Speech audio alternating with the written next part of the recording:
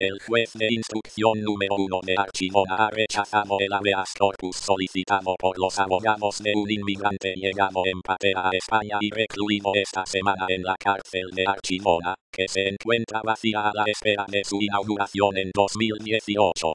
Según afirma el magistrado en un auto, al que ha tenido acceso el país, esta petición queda manifiestamente fuera de lugar, porque la finalidad de dicha figura jurídica es poner a disposición judicial a quien puede haberse privado ilegalmente de su libertad, y, en este caso, el extranjero ya pasó por un juzgado de instrucción de Cartagena, que decidió su internamiento.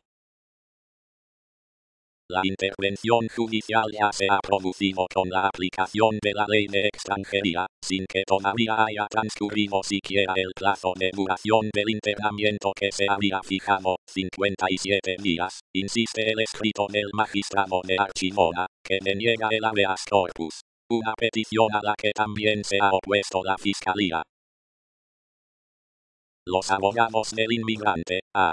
B. Sostienen que el juez de Cartagena aprobó la reclusión en un centro de internamiento de extranjeros, CIE, tal y como prevé la legislación española. Sin embargo, ha sido trasladado a la prisión de Málaga situada en el municipio de Archimona, donde sigue a día de hoy, añaden los letrados, que destacan que la ley de extranjería y el reglamento de los CIE subrayan insistentemente en que este tipo de internamiento no puede desarrollarse en centros de carácter penitenciario. Málaga no reúne ni uno solo de los requisitos legalmente establecidos para ser considerado CIE, y, por supuesto, no existe procedimiento administrativo alguno que haya modificado su calificación de centro penitenciario por el DCIE, remacha la defensa de A. B, que, además, enumera las diferentes deficiencias del complejo.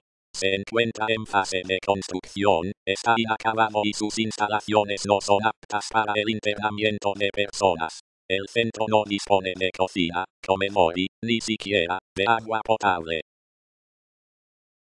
Interior decidió el lunes recluir en la cárcel a cientos de inmigrantes, en su mayoría de origen argelino, llegamos el pasado del fin de semana en Patera a Murcia y Almería. Ante el colapso de los CIE, el gobierno optó por enviarlos a Archimona.